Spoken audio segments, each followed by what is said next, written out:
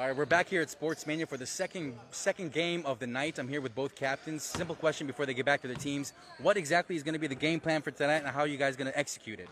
Well, we're gonna give uh, our hundred percent. Which We're gonna try to get the W, and we're gonna enjoy our time for sure. All right, Captain Wes. Uh, regarding our first game, we work a lot on our weakness, and now we know our weakness. Now we're working uh, on their weakness, so we know the details of the, the other team. Uh-huh, so uh-huh. tonight we're gonna have. They have a scouting report. What did they tell him about me? so far, so good. So far, all the good things. So there you have it from both captains. Good luck to you guys in the game, and uh, play play hard. yeah, sure. All right. Thank you. Thank you, guys.